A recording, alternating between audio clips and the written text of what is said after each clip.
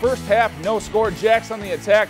Rachel Holm feeds Lindsay Hildenbrand with the through pass, and the freshman finds the back of the net. That's her first goal of the season.